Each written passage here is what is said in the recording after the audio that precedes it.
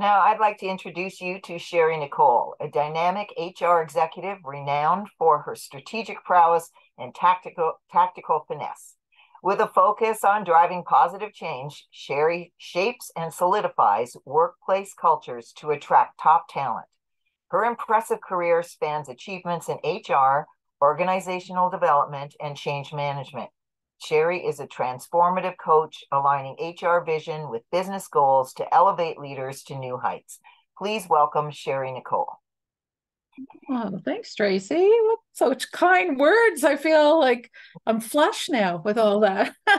Thank you so much. And uh, welcome, everybody. Um, so, yeah, today we're going to talk about uh, onboarding and retention and how they kind of intertwine together and how they kind of complement each other. Um, and uh, yeah, so hopefully you're, you enjoy the session um, and uh, I'll get started.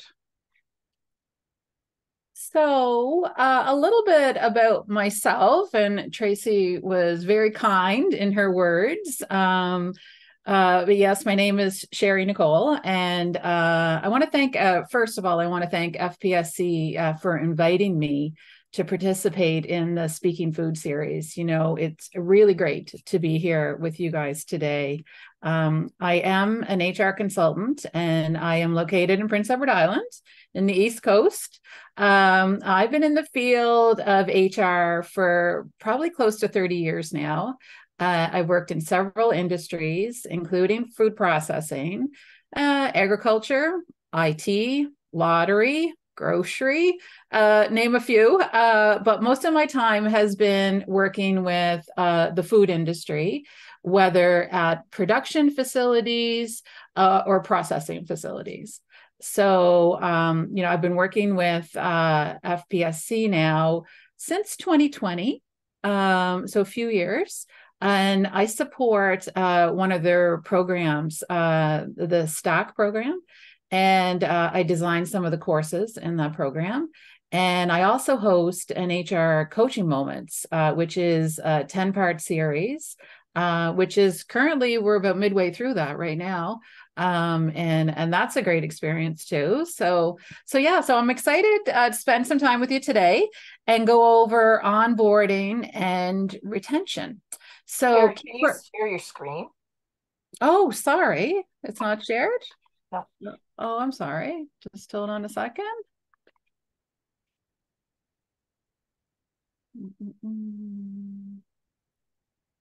Just a minute. Sorry about that. I thought it was already I thought it was already showing.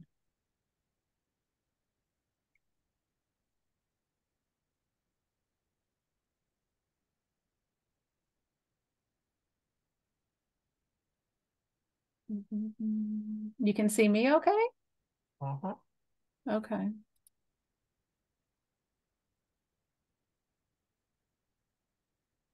There. Can you see my screen now? Sounds good. No, sorry about that, folks. No um, okay, thanks, Tracy, for letting me know that. I thought that was already up. So, uh, yeah, so um couple of things um on uh me. So um you know i shouldn't for today now i shouldn't take probably more than about 45 minutes. Um and then uh like uh geneva said we'll leave some uh questions room at the end for questions. Um so a little bit about me. Um like I said, probably about 30 years partnering with business leaders, uh, HR advice, coaching with them.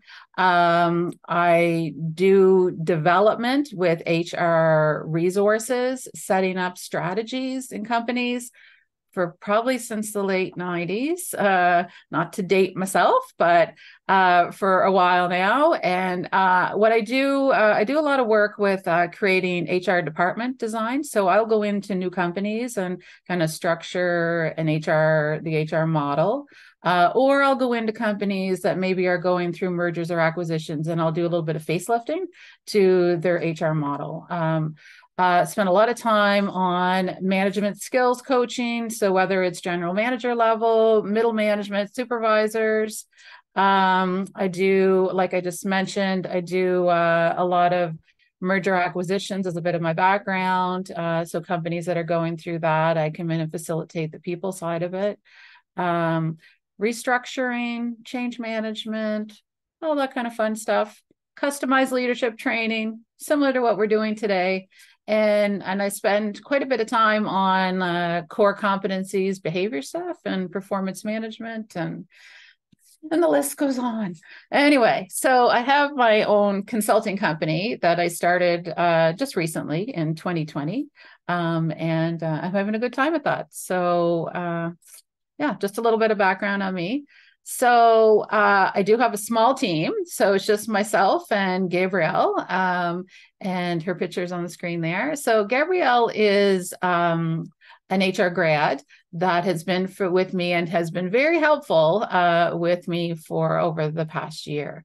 So you'll have a, an opportunity to meet Gabrielle a little bit later in the presentation. I'm going to get her to, to speak about some of the HR practices that we're talking about today. Um, so let's get started. Uh, like I said, the session today is on onboarding, the onboarding process, and about retention and how they kind of complement each other. So, why should we focus or maybe refocus our attention on onboarding and retention? You know, I'm going to share a few things, uh, a few, some of my thoughts today on how you can make some slight changes that will hopefully make a lasting impact on your company. So I'm all about providing helpful hints and I'll give you some insight into some things that I have done in the past. So, or that I do now with some clients. So, um, what I have on the slide here is uh, actually, I read this article.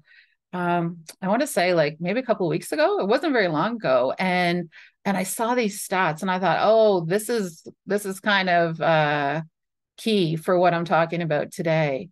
You know, I find them quite interesting. I'm going to go through them in a second there, but um, I'm not kind of surprised by them as to like what I'm hearing and what I'm seeing, uh, the challenges out there, and most likely you probably feel feel kind of the same way.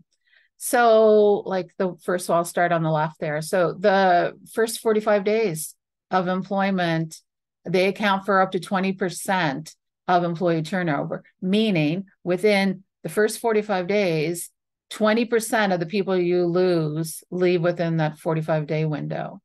That is frustrating, I would say. And that might be, you might have a different word. I, I would call that frustrating especially with the effort that you have to put in to recruit employees and within 45 days like a little over a month and and then they're going and 20% it's not the end of the world but it's still uh, still a high number um, employees integrated with effective onboarding programs are 69% more likely to stay for minimum like around three years. Three years what i'm finding with the generations that we're hiring that's kind of um, the average service out there with uh, with a lot of positions. Not all i don't want to stereotype but um, three years i wouldn't be surprised if people are looking for something different uh, after a window of three years but 69% um, you know, are saying if the onboarding's good, I'm going to stick around, right? So that's that's big number, right? Close to 70. So 78% of employees would stay with their company if they saw a career path during their onboarding. Well, that's interesting too, because I wonder how many of us are talking about career paths during onboarding. 28% of recruits leave their jobs after six months uh, 58% of organizations focus on administrative tasks during the onboarding process. That's big. And I'm not surprised by that because that's where that's what we've been doing for a long time. Right. And we call it orientation.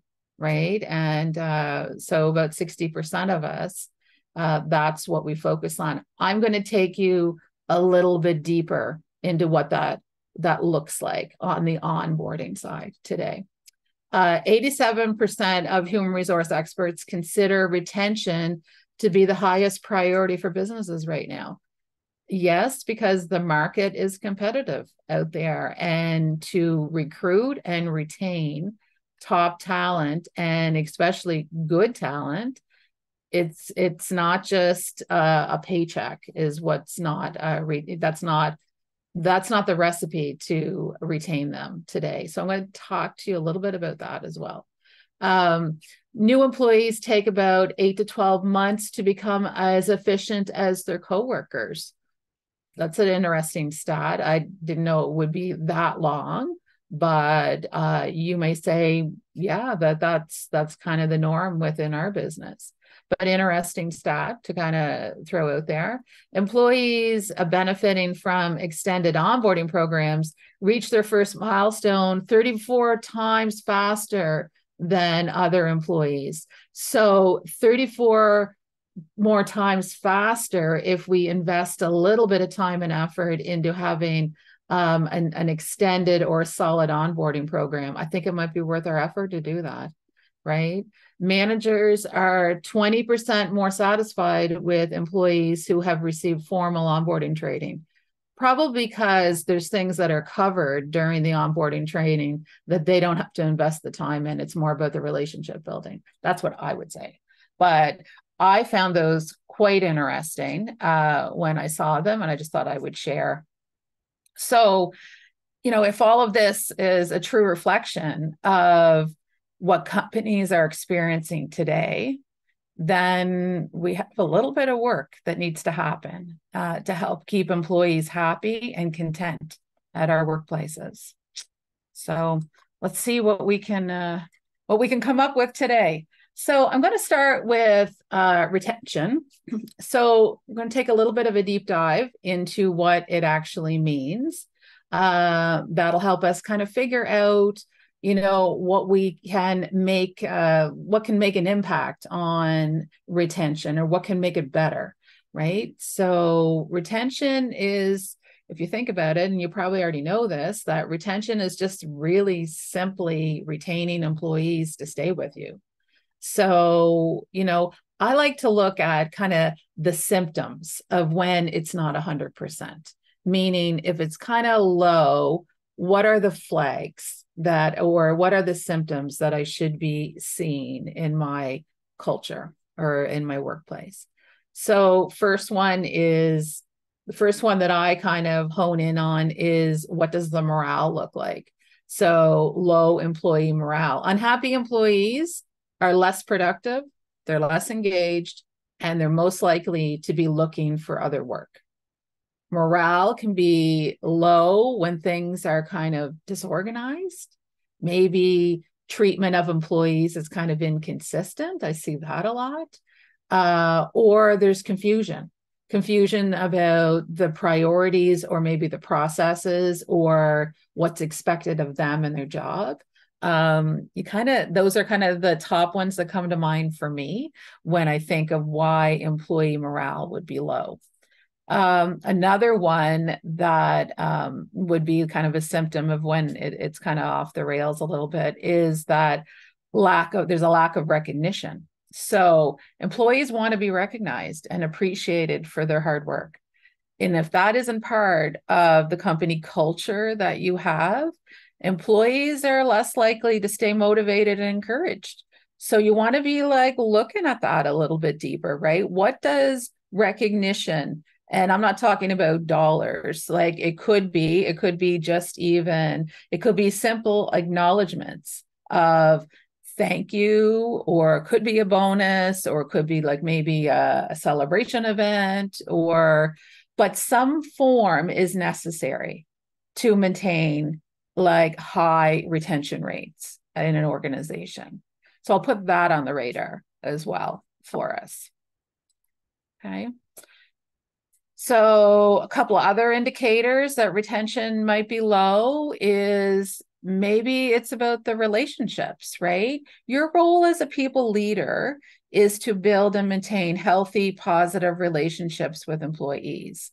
When relationships aren't good, it leads to higher turnover because people don't want to stick around. You know, one of the big ones that comes up is consistency that's what like I got to coach on that a lot, right? each team member needs to be treated equally and consistently. You can't have multiple sets of rules because you're going to ha- you're going to be impacting the retention of the people in the workplace. Priorities, maybe expectations, goals, all that should be all outlined so employees know exactly kind of what is expected of them. I like doing that at the front end right? That i paint the picture and, and that's some of the language that i use is that i like to paint the picture of kind of what i'm expecting what kind of good looks like through my lens. And then there's like and then ask me a million questions about it so that we're i need to get get employees on the same page as me kind of quickly that's kind of how i do it. Um benefits wages you know it's always part of the mix but employee salaries and other benefits they're they can be a big contributor to turnover if they're not aligned with what's going on in the market right? But you don't have to be the leading employer in the market but you have to be in the game. You have to be competitive in the marketplace. So make sure that you're you are competitive and align benefits to what employees kind of want. reason I say that is I have I have an example for you. I have a story for you. You know, um, several years ago uh, now, I was implementing a group benefit plan, like health plan, uh, for a pretty large company, and uh, they um, the structure was that there was a board that you report into at this company, and um, the board wanted to pick the best option. They wanted the decision of what benefit plan we're going to be going with. So I presented a couple of different scenarios, and uh, they're like, "We like this one," and I'm like, "Yeah, well, I don't know if that really lines to what the people want, but why don't we park that decision and why don't we go find out what?" Employees want. We'll just do like a random survey, just kind of go out. And it could be, I think I did it kind of casually through conversations when I went to different facilities, whatever. Anyway, turns out that what employees wanted was something completely different. And it was it was it wasn't even close to what the board or the senior leadership felt was important because it was important to them. They felt it was important to others. But when I went out and talked to frontline workers, that's not what was important to them. It was a whole other list of things that they wanted to be included in the group benefit plan which it was it, it happened many years ago but it was always a great learning for me that you know i don't ever dismiss trying to get the pulse of employees uh, whenever I'm trying to implement anything. And this just happened to be a group benefit plan. So I would say my two cents for you is kind of keep that stuff in mind because the cost of losing an employee can be much higher than if you just need a little bit of a pay increase or you just need a little bit of a shift on what the benefit plan is. And those I'm just giving you examples, but like put it in look at the big picture right? That it, is it really worth not doing those little pieces that are going to make the employee group happier? So anyway just my two cents on it. Um that might not be the scenario at your place but uh so what does it look like when you don't have issues with retention then because those are kind of those were kind of flags that I kind of wanted to to put on your radar. So when everything is great, like what what do you see? Well, you see like teams like that have really good relationships they're very productive they're engaged in the work that they do they enjoy coming to work they actually say that that they like coming to work um, you know you have better employee morale. You can feel it in the culture. They're happy. They're motivated. You, you can you can feel it whenever you're just walking around.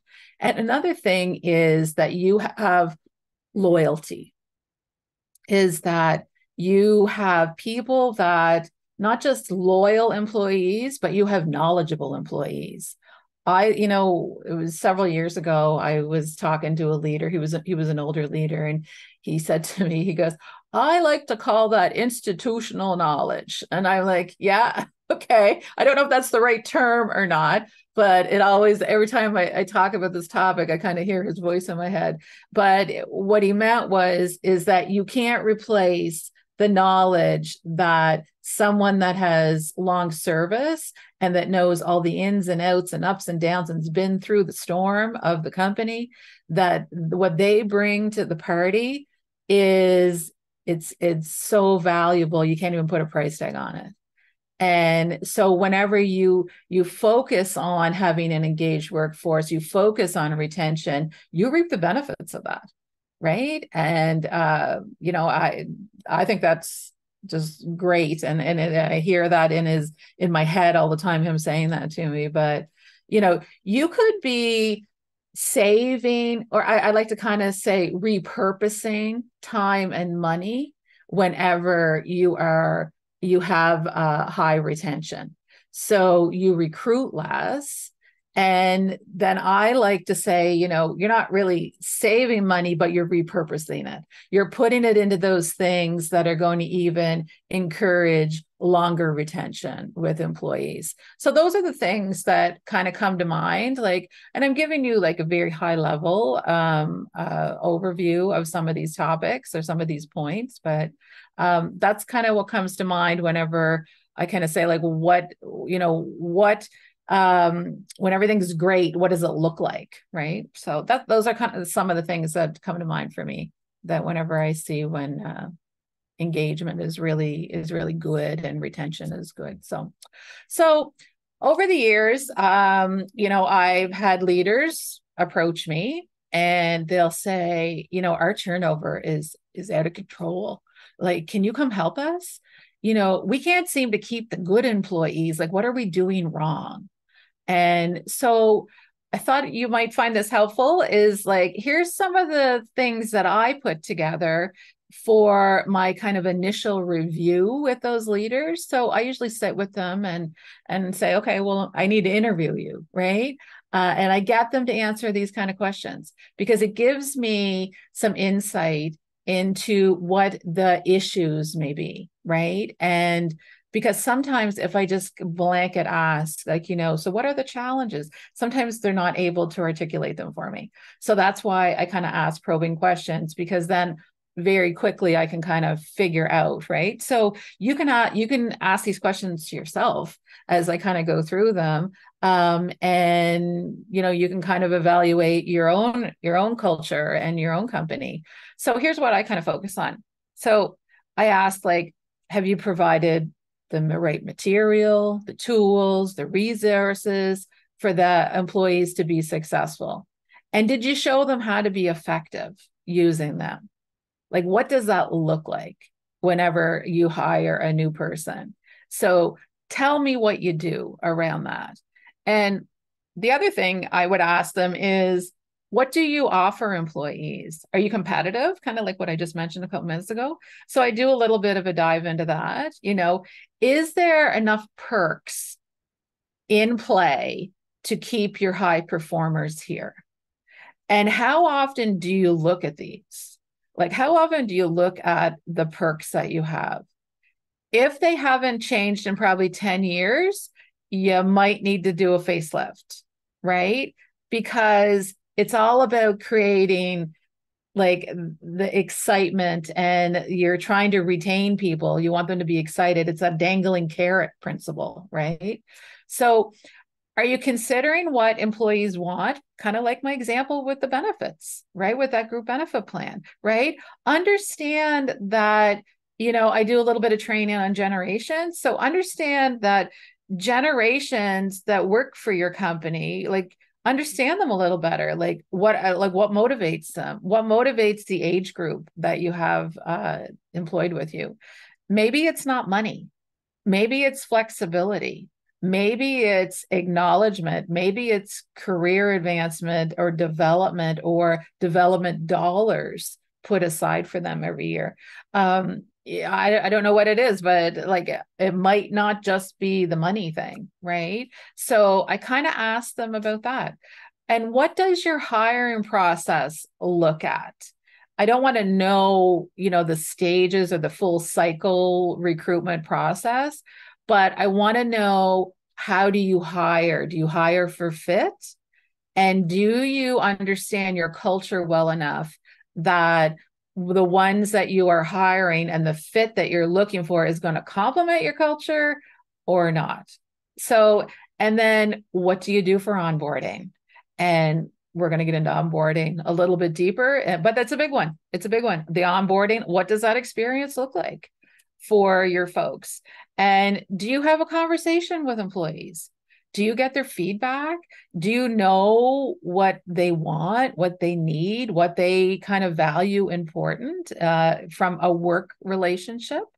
Um, you know, in employment, another thing is the employment agreement or like their offer package you know what like you know what does that look like what do you have in it besides you know your start date and your wage you know is there benefits part of that? Did you incorporate language in there around learning and development you know or even mentoring right? And is there a career path for them? And did you talk to them about a career path? Do you have performance conversations with them? So all of that I know it sounds like a big laundry list, but it's very insightful when you kind of look at some of that stuff, right? Like, what are you actually doing? Um, in your company right now. So I thought you might find that helpful. A little bit of a checklist uh, on kind of what I kind of hone in on uh, whenever I'm starting to do some work with uh, with certain companies that have uh, turnover issues. So I have an example for you. I have another example. Uh, a few years ago, I was, this is about retention and about onboarding. But a few years ago, I uh, was in Toronto for meetings with my employer at the time, and uh, and when this uh, this manager approached me, and she said, uh, she goes, "Oh, hey, Sheri," she goes, "I have a new HR person here starting today, and can you sit with her?" And I'm like, "Well." Uh, yeah, maybe for a bit I can, but I flew in to for other meetings. So I'm like, yeah, I know I'll sit with her. She goes, well, I'm I'm gonna go. I have other meetings to go to, but I'll loop back in about an hour. I'm like, okay, yeah, I could sit with her for about an hour. I got an hour to spare. So so I sat with the new HR manager and I told her about the company, how things were working, how things worked, and who was who. And I I pulled out an org chart for her and all that kind of stuff. And and then about an hour later, I just said, I'm going to go see where your manager is. And because uh, I have other meetings that I have to go to, but you know, she should be back. She said about an hour. Manager never made it back to the employee until after lunch. It was several hours later. Needless to say, she didn't return the next day. What a bad experience that lady had, right? Like, the new hire, she was so frustrated. I felt so bad that I kept trying to do little check-ins with her that she just she didn't what she said to me she said I don't even feel like you guys want me here. And I'm just like, I wasn't even part of the hiring, like, you know, but I'm in the middle of it. Right. And it was awful. It was awful. And it was, you know, and then the manager comes back. I think it was like, oh, it was later in the afternoon. And she came back. She's like, oh, where's so so? I said, she left. She's gone. And uh, like, you know, I don't think she's coming back. Right. Um, so reason I'm telling you that I don't th- I don't think that's an isolated incident because I have several other examples that are similar to that you know, here's another one that I'll give you that this just recent, this is recent, like last couple of months. Um, I was supporting this leader and uh, he was uh, hiring a new production manager. Uh, and the new hire started onboarding plan you know mapped it all out what was going to take place because i don't work at that location but i support them. Um, and it was all arranged. Leader didn't follow any of it. Didn't do anything on the list right? And not not only that but after a few days the manager didn't even want to communicate with the new production manager anymore so and he would send messages to other staff to go tell this person this message. He was ghosting him. And eventually within a month the new production manager reached out to me and he said like you know like he doesn't want me here so i'm just leaving. Like this is crazy. And, you know, the guy was young, he was energetic, he was good people skills, he was trying to make a difference. And the manager, uh, the general manager, was setting him up to fail. Right. And again, I felt so bad about that. Like it was just, it was like, what don't you get about like the people? Like, you know, don't you want them? If you didn't want to hire them, don't hire them, but don't make the experience like that for new hires, right? You know, so you may not have the same experiences that I'm sharing, and you know, uh, and, and that's okay. Um, but what you can mostly most likely relate to is the feeling that I'm talking about, right? Where, you know, the feeling that that new hire had, it wasn't good, right? Or both of those new hires, it wasn't good, right? Um, anyway, I wanted to share it because uh, we're gonna ask, we're gonna have a poll. So we have a poll coming up on the screen. I think Geneva's gonna be putting them up for you. So and I would love if you would kind of share some of your thoughts on this. So, based on the examples that I just gave you, have you ever had a similar experience where you felt that way or you saw that happening or, um, yeah, or, or you heard about it? Um, just kind of curious. I'm going to keep motoring though, but, uh, but fill out that, that uh, poll if you wouldn't mind. That would be great it kind of helps me give it putting examples together for future sessions if I know that they're relatable. So, all right. So now that we've kind of explored retention a little bit and you know you got some kind of best practices kind of in your toolkit right i want to kind of shift and look at onboarding okay so what is onboarding all about so onboarding is kind of the process of supporting a new hire, how, how they adjust to their new job. And we want them to adjust quickly, smoothly. That's kind of the, the process around it. And it's like you're helping the new hire adjust to the social and the performance aspects of their new job too, right? Or think of it as you're kind of integrating them into in the new hire into the company right? And it allows them to be familiar with company cultures, policies, all that kind of stuff. And they have maybe have a better understanding of the company through this process, right? And they have a better understanding of their role and like how they can they can contribute effectively as a team member, right? so that that kind of when i say onboarding those are the things that kind of come to mind for me is that it's that experience that they're having. They're they're finding out information. They're finding out how they fit in it right? Uh, you know onboarding programs like help new hires kind of understand the roles and responsibilities and get comfortable with the atmosphere. They meet their colleagues. They learn the company policies. All that, that that's kind of the sense of it right? Another thing is onboarding is a, it's a crucial step in an employee's employment journey with you it makes them feel appreciated right out of the gate and and being part of the team which the ramp up time for them to be effective is shortened whenever you have a really good onboarding experience or an on, onboarding approach for them, right? Uh, uh, it is it's a key process in ensuring that your new hire feels comfortable and is supported.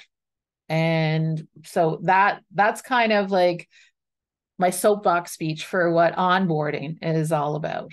All right and i'm going to take you on a little bit deeper dive into this. So I like to coach on that onboarding process should be structured, structured, strategic, focus on people rather than the process.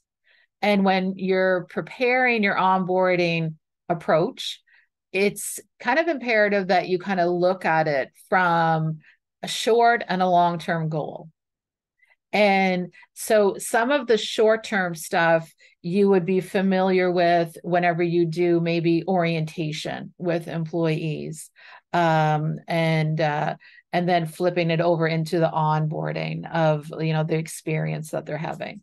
But so for instance in the short term whenever you look at short term onboarding processes uh, or approach uh, you're likely looking for things like getting employee excited about working for the company. That's what your that should be your agenda ensure that your employee can do the job and they have all the tools and the resources that i talked about a couple minutes ago. You know that they complete that essential pay work uh, uh, pay, um, paperwork sorry that is necessary like for the payroll and, and all of that to get them set up on payroll. So and you go over company culture maybe the background and it's all about helping them transition um, as from being hired to now in the culture. So sometimes it's about, you know, you'd be doing like things like um, if they have to get logins or keys or anything like that, or any any of that necessary stuff. So, and there's always the big thing is there's always that introduction uh, to the current staff. So those are kind of like if you could use that as a bit of a checklist to say, okay, did we do this, this, this, and this?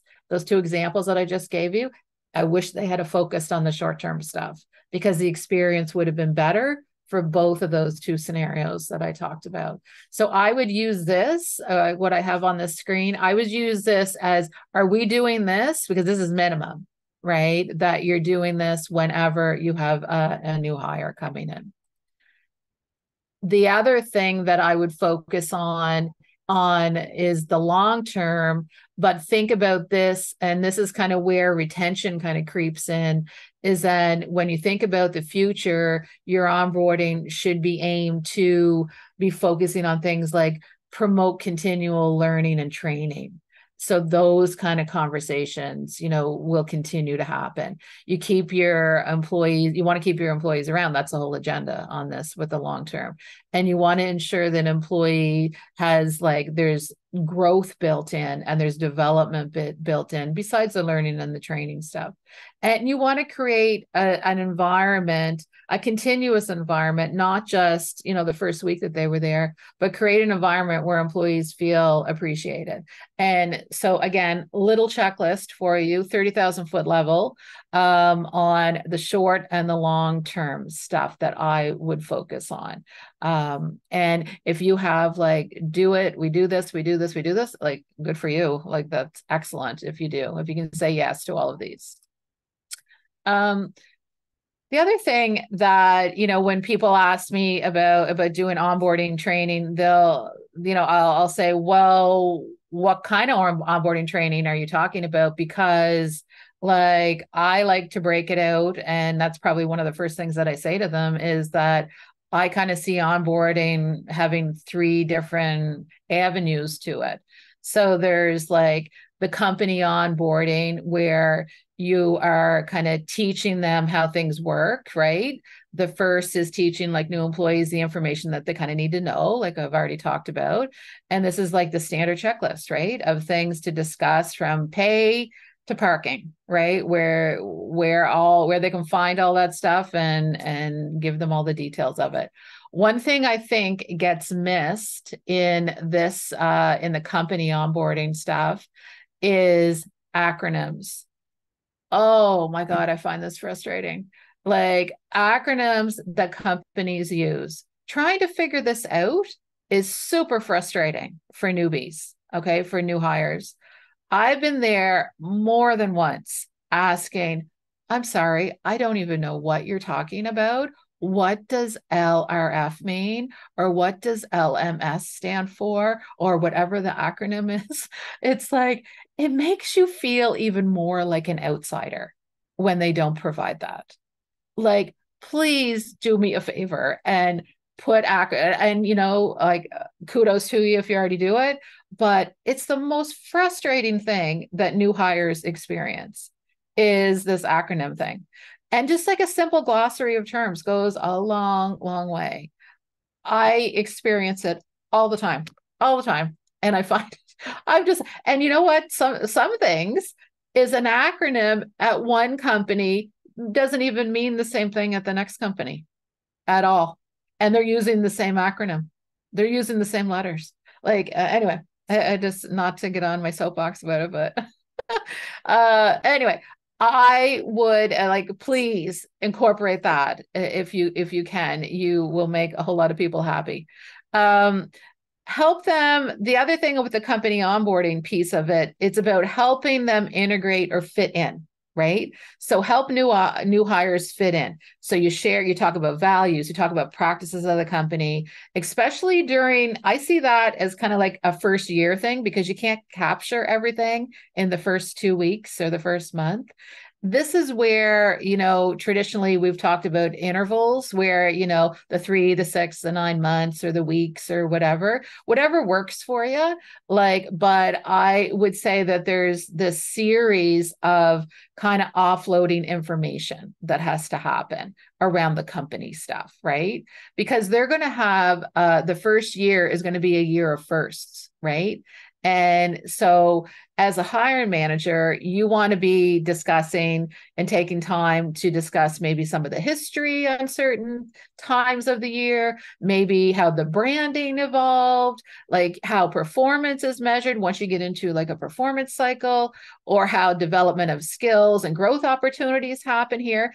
They're not going to retain that if you do that right in the first couple of weeks. But eh, kind of like progression on on some of this information because it's very very helpful. And it's not there's nothing more frustrating than go, trying as a new person trying to go find where all this information is. And most of the time you learn it like at the water cooler right? Or you're emailing or texting somebody or messaging them.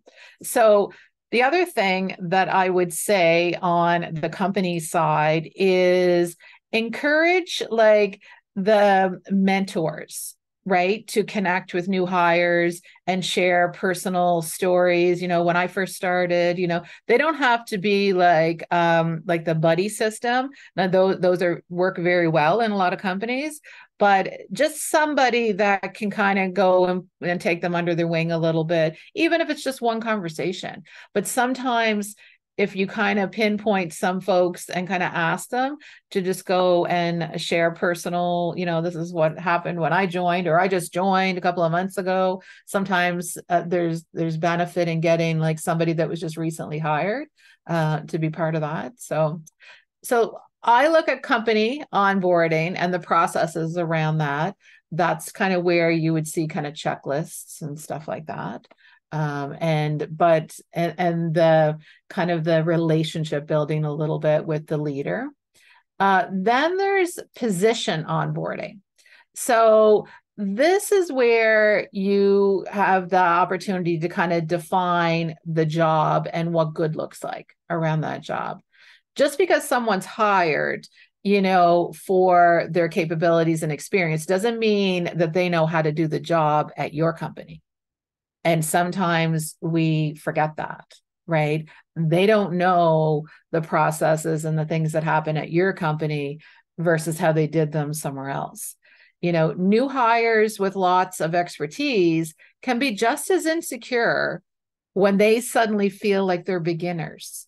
And, you know, sometimes what you'll see, and this is just uh, uh, my, uh, just from my experience, but a sign that you know you have somebody that doesn't that is that is insecure is that they may be like commenting on their past successes like a, oh at my last job i you know i did this or i did that or whatever because they're trying to gain acceptance they're trying to prove their skills um, and because the the structure on how you're kind of um, supporting them regarding their position is lacking something right? So if so if you experience that know that you probably have to do a little bit deeper dive right? So provide the new hire with the job description. That's kind of like you know the baseline that includes well defined accountabilities resources you know how you things should be you should be aware of how things get done and it's also uh, valuable to schedule I like weekly or daily, like it just depends. Uh, coaching kind of sessions or check-ins, uh, and it just depends how big your team is. Um, and just so that you get on the path of contributing as soon as possible. That's always been kind of my goal with any teams that I have is that I want to I want to put the effort and the time at the front end because I want to get to the point where we're being effective right? And that we're there and and there's there's a sense of accomplishment whenever you do that with new new hires because then very quickly they ramp up to being a contributor and then they feel good about themselves right? Um the other other thing on position onboarding that you you should remember is about setting goals. So, yes, you have the job description, but I like to always, you know, it, it's kind of a powerful strategy because of setting clear, kind of realistic expectations and milestone expectations. All right, for them. So, you know, I like to assign tasks with uh, an expectation that that would be completed maybe like three, six, nine months, or a week, or a couple of weeks, or whatever. It just it depends on uh, on the work that you're doing. So start with targets that you're confident that maybe the new hire will, can meet, and and if that all goes well, then gradually increase the level of responsibility. Right. So that's kind of like you're kind of there's a little bit of hand holding uh, you're probably thinking that a little bit of hand holding, but you're trying to set them up for success, right? This is a process, right? You you you have to have that opportunity where you can discuss freely, safely, you know, where the gaps are, right, in skill set right and so during when you're having these check-ins and you're setting those expectations you know, that's where you can have really true conversations.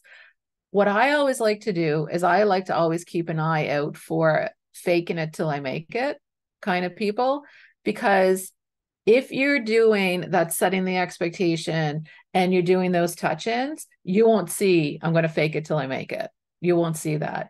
But if you don't do that you might have that happening and then you might have to have a performance conversation um, so, you know, new hires that feel kind of grounded in their whenever they're contributing and they understand how they fit into the company, they are ones that will be confident and loyalty will come faster than you think um, whenever that happens. The team onboarding, uh, I'll just briefly touch on this one, but you can kind of sense what this is about. So, this is like about new hires, like making them feel like they're not isolated, um, right? And that they're, you want them to be socialized properly, right? And because if they're not, like the examples that I gave you, if we're going to ghost them, then you know you're just setting them up to be leaving the job right? And building relationships during the first few months can help new hires kind of feel less isolated and they'll feel more confident. So the more that you can focus on that team building uh, piece of it. Um, anyway, so when whenever you focus on that and they feel accepted and welcomed, then they're less likely to feel like that new kid on the block right? And sometimes that can happen fairly quick, right? So the more effort you put into it, the faster that they might make a comment like, "Oh, I feel like I've been here for years," and they might only be there like two weeks, right? So we have another poll uh, coming up and again love to get your thoughts on this um, so the question that geneva is going to put up is would you use these three categories like the company, the position, and the team uh, when you're creating maybe your onboarding process? Just kind of curious if you would. And I'll keep motoring to the next page. Okay. So, talked a little bit about retention We talked a little bit about onboarding. Now, how do they complement each other? And you could probably give me these bullet points uh, now that we've kind of discussed both. So, by having a well structured onboarding process, you enable staff, employees to perform and feel motivated from day one, right? As we just talked about.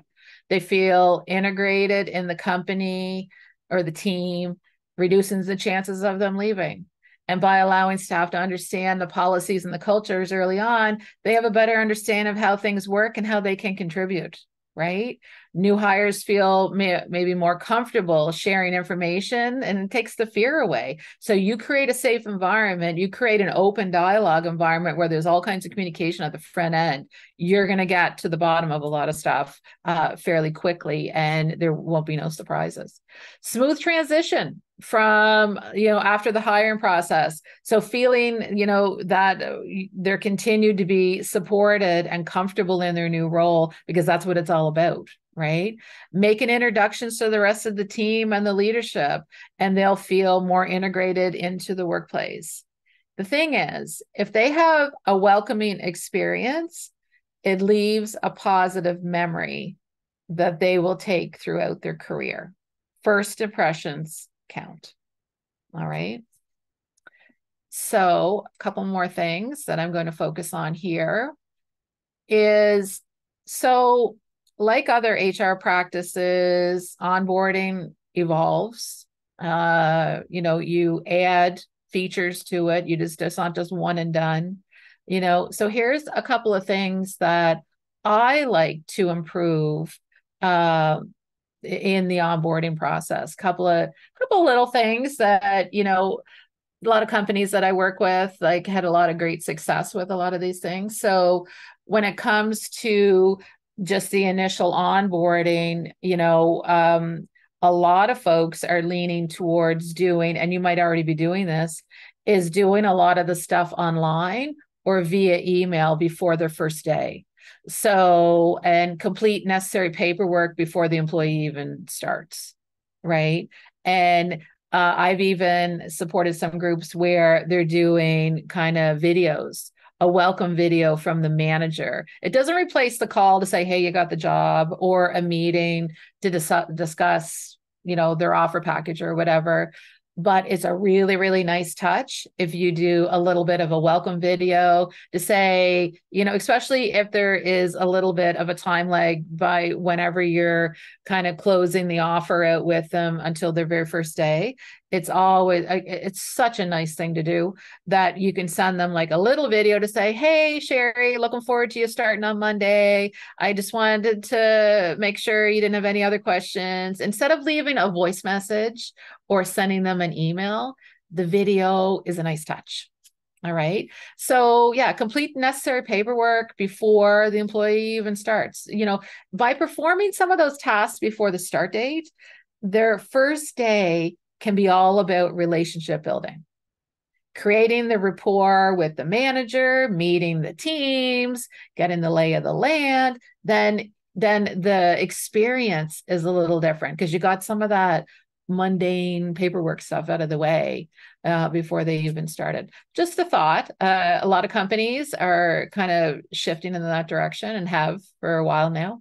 Um, a welcome plan for the first day having like um you know like uh maybe a few set things in place as you're welcoming a new employee like might it will be very beneficial if you kind of said okay these three things we're going to do for every employee that comes uh, that gets hired. And so a few set things in place as you welcome new employees. So then what you have is a consistent way of making them feel part of the team. So this can be something like um, you could do like a welcome card, right? Or having like a box of essentials on their workstation, or you know, you could have like company swag uh there like a pen or a mug or you know like stuff that you probably already do but some companies just don't they don't they forget about doing it. They say oh no we all get t-shirts or we all get hats at christmas time. It's like yeah but we're trying to uh we're trying to keep employees you know from their first day on right? So what can we do so that if everybody else is walking around with the hat they got last christmas can we give them one of those hats? Like you know so they can fit into the culture right?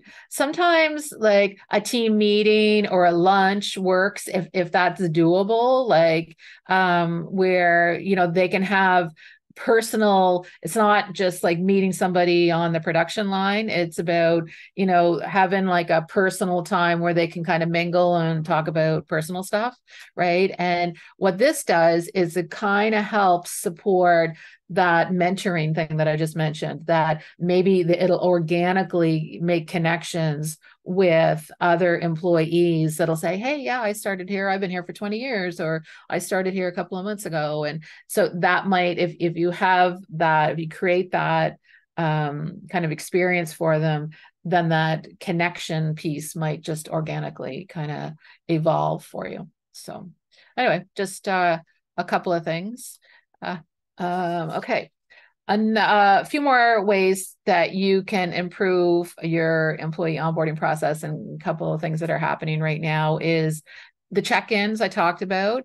Um, the on, an onboarding starts when you know the person is hired but extend it until the employee feels confident.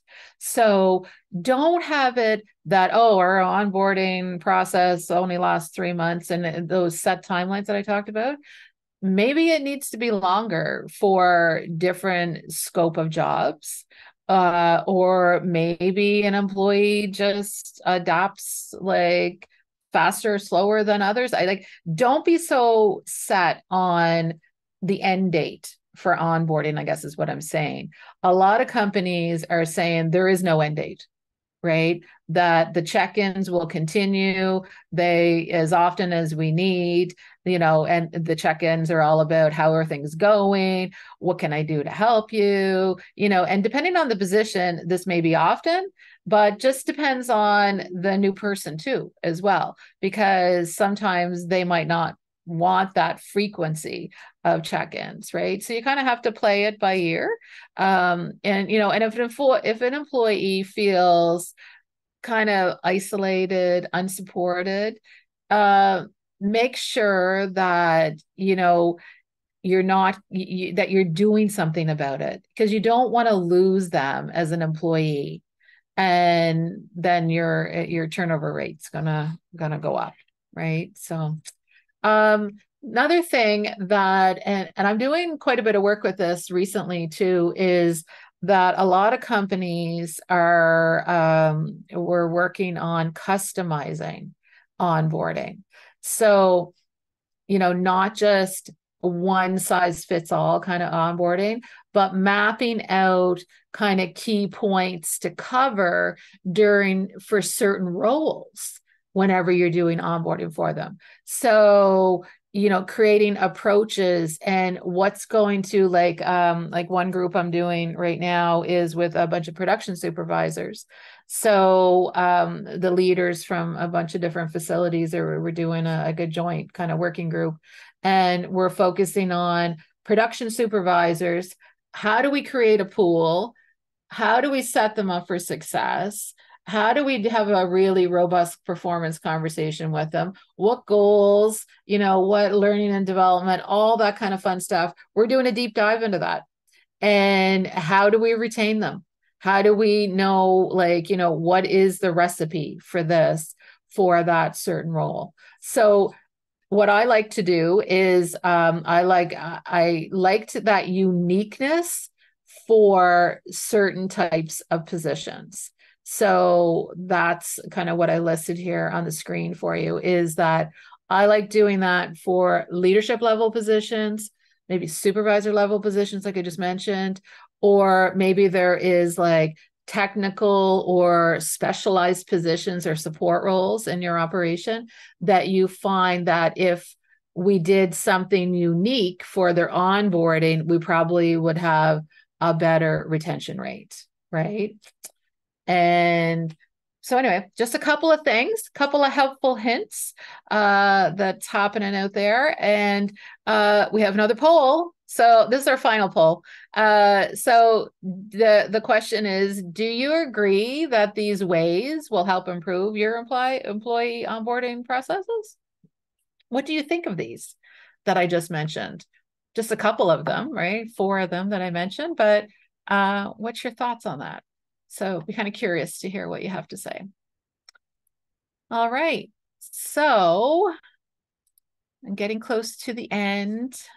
Uh, so I thought you might like to hear about some more example stuff. Everybody loves the examples uh, and want me to do more examples. But when I was uh, telling Gabrielle about the examples that I was going to share today, um, you know, she said, she started telling me about some of her experiences.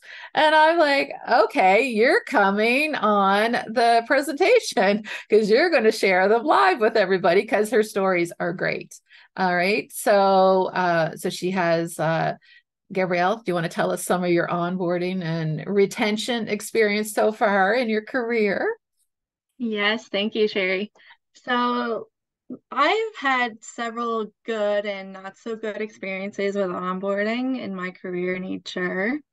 I'm 26 years old. I've been practicing HR for just a short few years. But if I had to reflect on some that I wanted to point out to you today, um, there was one time that I had a job where a manager didn't foster a motivating and supporting relationship with me on day one kind of made me feel a little lost. I felt like I didn't know where I fit in the company. I didn't feel as if I was part of the team. And it really impacted me being motivated to do the work. Um, so, and then in my current role here uh, with Sheri, you know, she's very good on wanting to get to know me, get to know my background. She shares her personal experiences with me, so I get to know her. Um, we're very comfortable on knowing what we need to do and what things that I may need more support on. Uh, we have these casual daily check-ins together where we kind of go over the list of work that we need to do so I can understand expectations, what needs to be done, how things need to be done, and how we're going to go about completing these tasks. And I feel very comfortable and I feel supported and I feel like a very open environment um, if I ever need any more clarification on these tests. Another one uh, was I had certain expectations with this job going in, but as the job progressed and time progressed, the job and responsibilities kind of shifted, um, which I was not expecting at all. Um, I was given the job description on day one. So these were the responsibilities that were laid out for me. Then all of a sudden it was completely different. And I was no longer interested in the work at all. It made me feel like I didn't want to go into work every day. I had there was low morale in general. Uh, it impacted my ability to want to stay with that company. So that impacted the retention level very much. With Sheri here, I'm interested. I love the work that we do. It's very hot, fast paced, high level HR stuff, and I get the opportunity to expand my skills and knowledge. Uh, like I research different platforms and softwares that can make our work more efficient, more elevated. And Sheri's very good at listening to me and being open to these things. And they're going to help our company as a whole and that's that's great. It it's exciting. It makes me happy and motivated to be here. Uh, my last experience that i'll touch on today uh, is a, I had a job and on day one it seemed like they didn't have a game plan for me. There was no job description. I had no idea the responsibilities that i was be doing. So my manager would assign me a task I would go and complete the task with no expectation on how to do the task. And then I go, she gave me another task, and it was very transactional. And if she didn't have anything to give me, it was, oh, go organize the filing cabinet. and I was there for a short period of time with that job. Um, it was very transactional, very disorganized. I did not like making the commute. It was a little bit further away. Uh, so I hated that. And I didn't want to have to go into work and organize the filing cabinet again. uh, so with my current position here, I I have a very clear understanding with our daily check-ins. I know what the work that we need to do. I have autonomy and the work that we're doing. I'm excited. I'm engaged in the workload. I love coming to work every day. And we kind of have like the we map out these short and long-term goals that we set and we continually set them on a I'd say a weekly basis. Mm. And it's great. Mm. Aw, thanks, Gabrielle. Yeah, no problem. I have I made notes. I made notes through that. Do not get Gabrielle to be filing, doing filing in the filing cabinet. I don't mind it if it's every once in a while. yeah, that's funny. Thank you, Gabrielle. That was really helpful. Uh, hopefully, everybody kind of uh, appreciated her being so honest and upfront and and giving us a little bit of insight into like into her experience, right, and her age group right not not to say everybody in her age group kind of feels that way but um and kudos for her for being so open and honest and telling us that today right? So thanks gabrielle. Thank you. Okay so before i wrap up uh i just wanted uh to also mention that um I like how do you collect i'm a data person so obviously how do you collect employee employee onboarding data for your company? How do what's the most common way that you can kind of validate you know besides like a lot of things that i've shared with you today is about checklists and you know and look at this and the experience of that.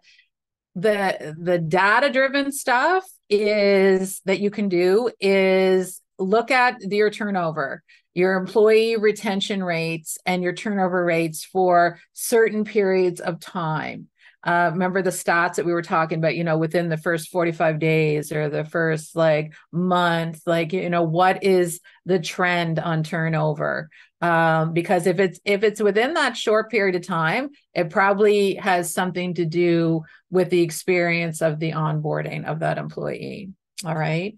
So I like the data, but data is not the only thing, right? With the turnover rates, I guess is what I'm talking about um, I liked the collection of feedback. So I I don't know, I like surveys, right? Uh, for the the new hires. So survey them assessing how you could maybe improve the onboarding experience. I like that. Like I would rather them give me advice, right? Than rate us on this or that. Like, uh, you know, I would like I would position it more about kind of like when we do the polls with you today. I'd like that because I want to tweak my approach for the next time. Right. So I look at the onboarding the same way that I'd like to phrase those questions where I'm getting useful information, not like a yes, no, or, you know, an eight out of 10 right kind of thing. And i like getting feedback as it kind of helps me improve the whole process right like i just said. And it's a great driver for employee engagement right whenever you get that feedback and we do something with it then they're going to feel good about themselves right that they were part of that.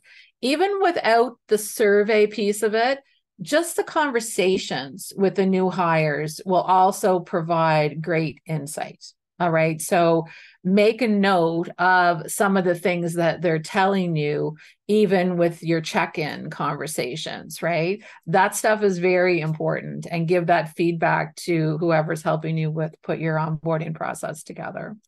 All right. Um, okay. So, uh, two things I always ground back to uh, onboarding regarding onboarding.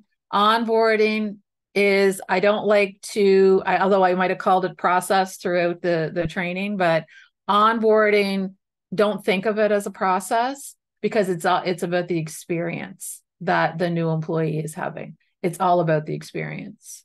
And, you know, one of my guiding principles, HR guiding principles, is that, and I, I think of this like a lot, probably daily, uh, in a lot of things that I do, is that people might not remember what you have said to them, but they will always remember how you made them feel. And that is so true. And I can reflect back on my whole career, and those words kind of ring true for me. So I hope you I hope you uh, this topic was helpful. Uh, I just wanted to really share a brief overview, share some of my experiences, my approaches that I take, and hopefully provide you with some great tips to consider. Um, I know we went a little bit over on the time, so I apologize for that. Uh, but thank you so much for attending the session. And if there is any questions, I'd be more than happy uh, to try to answer those uh, now. So. Perfect. Thanks, Sheri. I'm just going to open up our uh, Q&A box here. We do have some questions. Okay. Uh, first question is Can you help define orientation versus onboarding? Yeah. So I like to look at orientation is kind of like the kind of the checklist of uh, them being orientated maybe to their job or um kind of like the specifics of maybe the deep dive into their job description kind of where um where their workstation is you know where you go get a uniform like all that kind of stuff. So the orientation uh of kind of the going to to do your shift the onboarding is it doesn't matter what your position is it's kind of the experience of you being brought into the organization. So if you think of it that way the onboarding is kind of like the 30,000 foot level and that's the way I describe them. Um, you might describe them differently but and the orientation is more about the the functional job and the things around the job that is unique to the job that you're filling. So though that's kind of how i look at it. Um i try to keep it uh, a little bit clear that way so. Perfect. Good question but yeah good question. question. It comes up a lot because a lot of people use those uh, terms interchangeably. So yeah so it does it's true up. i've heard them interchangeably too. Yeah yeah it comes up a lot uh, next question is What should I, as the owner, do to make sure that my HR team are recruiting for 2023 and 2024 and not using the same tactics as we did in the 2000s? Yeah. Uh, well, I am a big user of generations, of looking at generational data and drivers for generation. I would start with what does your demographics look like in your workforce? Um, and the traditional drivers of that workforce. You know if you're doing any kind of engagement kind of surveys i would i would kind of have a glance at that. Or if you do any kind of feedback uh, methods from employees i would look i would look at that because it's all about the culture moving forward and, mm-hmm. you know, with some organizations, we've gone through a little bit of rocky years the last couple of years. And I think we there's a, a focus right now of trying to reestablish the culture because you know with covid and, and all that people were like in isolation. And i think they're craving that kind of relationship piece. So i think moving forward i would look at some of your practices on um, the team building approach. I would look at your demographics for the the workplace that you have. And um yeah i'd probably i'd probably start there. And then depending on what you see in that then you could do a deep dive in into some other practices and other focuses. But you know you can go through some of the the checklist that i went through that when i sit with leaders and say well you know how are you doing on the compensation? You know what do you do? How, what do you give employees? Right? Um, you know do they know the the scope of the work? Um, you know did you give them all the resources tools? I would start with that checklist like go back to that checklist but i definitely add over the layer of uh, the generations and the drivers of the certain generations that you have in your workplace like your demographics. So that's what i would focus on. Perfect.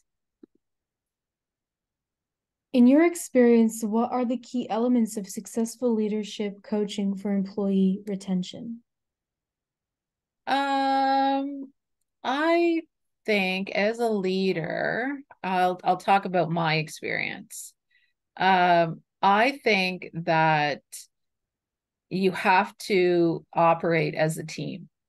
And if you're really trying to retain uh, people on your team, you have to focus on their development. Your your role is not as a people leader, and again, in my opinion, is not to just kind of um, divvy up the work it, it's that your job and this is what people have done to with me in my career is they've taken me under my under their wing and they've developed me and and giving me insight into skills not to adopt what they do but to explore how i want to be moving forward. And i think that you know I think we need to kind of stop and just reflect a little bit that you're what you're doing is you're grooming the next generation of leaders.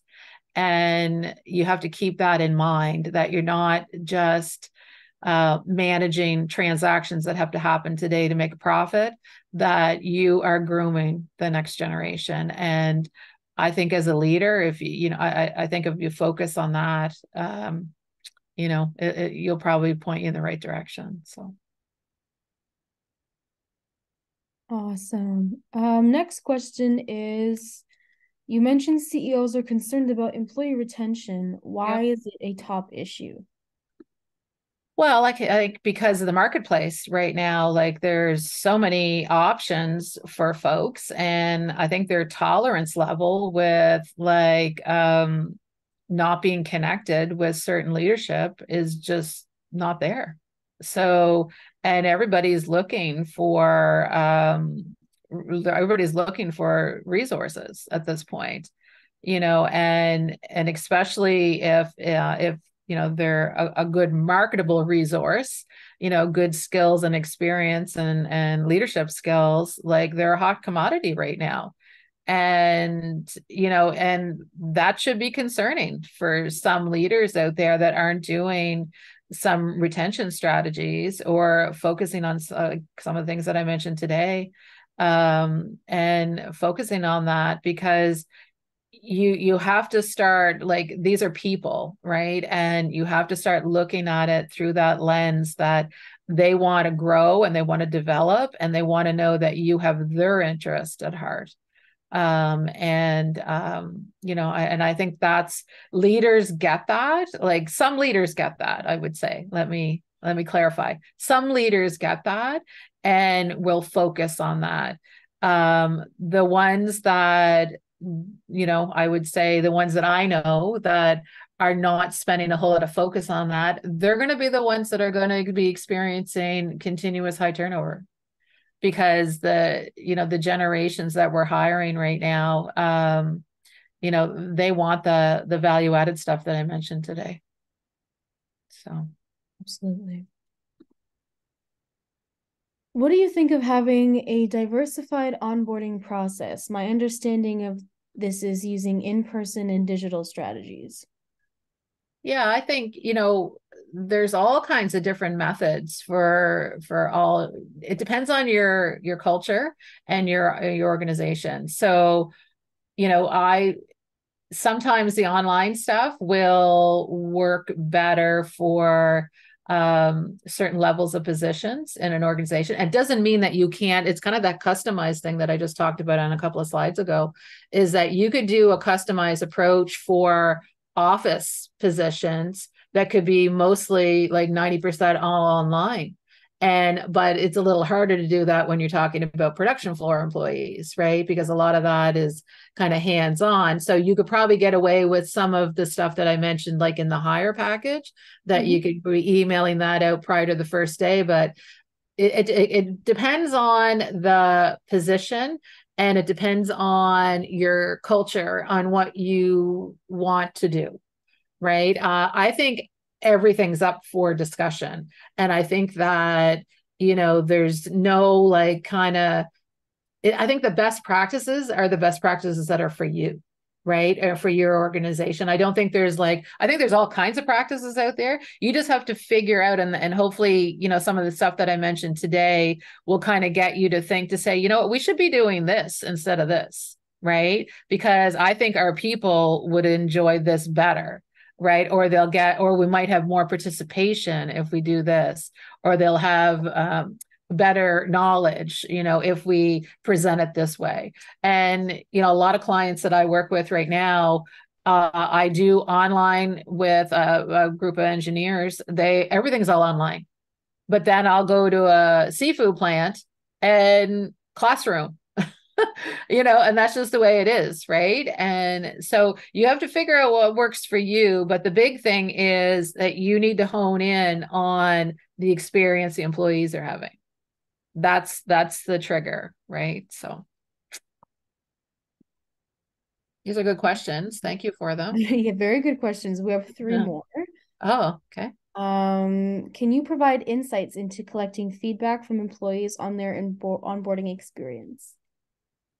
Yeah like the survey stuff. So um sometimes you could yeah you can do the surveys like i mentioned like you know i like to ask them about like you know was this you know was that helpful? But more importantly you know do you do you is there something that we didn't provide to you right? Or is there something that you wish we had have done uh, because we can do it now for you. But you know what? I'm going to incorporate that into the process, right? Because I think it's a really good idea. And I think that's where that engagement comment came from. That I think that if you have that dialogue and that check in with employees and it's really genuine, about like you know was that helpful? Like that checklist that you got or that material? I know there was a lot of reading in that but was it helpful at the end of the day? Like i would ask i'd, I'd be like i'm interviewing them. I would ask them because i want to know the details of you know they don't want to read a 50 page manual right? Unless it's a requirement right? But then it's like maybe I can do a scaled down version of it, right, for them uh, during onboarding. And if they need to reference the 50 page one after, then then go for it. But that my advice whenever you're trying to solicit feedback is the survey may help from the the experience uh, overall general on what your approach is to validate it or to change it but then it's not going to replace the one-on-one conversation that you're going to be having with the employee. And I think your feedback collection has to be a combo. So perfect. the next question I think we touched a little bit on in a in a previous question, but I'm just going to ask this one in case you have anything else to add. Okay. With baby boomers and Gen X getting ready to retire or are already retiring, what should the HR team be focusing on? Well, um, yeah, like a well, I again, I'm a data person, so I would be looking at how much runway I have in front of them, uh, and how soon is uh, you know, and how soon before they retire. And then I would be looking at the practices that I have in place regarding am, am I building the next leaders or do I have to go externally for the next leaders? So I would be looking at that. I like to look at that stuff at least three to five years in advance, no matter, and I don't need a commitment that so and so is going to retire. I just look at the data and uh, do a little bit of analytics on that and you know put a game plan together because chances are if you if you leave it for a shorter window of time than three to five years you're not going to be able to groom the people internally uh, to be a replacement. So I like to always, you know, at least three to five years out. And yeah, you know what? A lot of a lot of companies are kind of holding their breath and crossing their fingers, right? That they don't leave because we don't have anybody. And and I had that conversation, I think it was yesterday, with an employer that said, like, we don't have a successor, but we're just gonna do whatever we can to try to get them to stay. I'm like, that is not a strategy. That is not a plan right you have to figure out uh, you have to figure out something else you have to be looking at the development and the training that I talked about, which can start right from day one, you know, on talking about, you know, career um, uh, aspirations that uh, new employees have. There's nothing more motivating than somebody asking, like, you know, how can I help groom you for your next job? Even if you're just starting this one, it's like that's what you should be focusing on. And you know and if you don't not everybody is up for that though either right?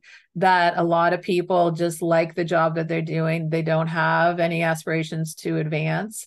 And um you know so there's nothing wrong with that either um because the, those people provide stability in your workforce too. So they're huge huge asset right? So anyway hopefully that answers the question Perfect. Um, so we're gonna wrap up the Q and A portion here now, and I'm gonna pass us back to Tracy for some closing remarks. Thank you very much, Sheri. It was a very interesting topic. I know everybody struggles with retention and recruitment uh, over all of our subsectors. So I hope all of our viewers today got lots out of it. Like Geneva said, we will be uh, we have recorded this session. We will be putting it up on our YouTube channel and sending the link to you as well. Uh, Sheri is also going to provide her uh, her PowerPoint presentation for us too, so that you can take a look at it again uh, later on. I'd also like to tell everyone that we will be having our next webinar series, and it's going to be only in a couple weeks because we're trying to get it in before everyone disappears or gets too busy for the Christmas break and that will be featuring Dr. Lizette Rees Paulino and Raja Hatoum. And it's called Becoming an Effective, Emotionally Intelligent Leader for Your Workforce. So that's also going to be another interesting topic and, and uh, divvies very well into our, our skills training across Canada program uh, as we move into more of the leadership thing. So I hope you can all attend. Thank you very much again, Sheri and Gabrielle, for sharing all your insights and answering all our questions. And we'll see you all next time. Thank you. Thanks, everyone.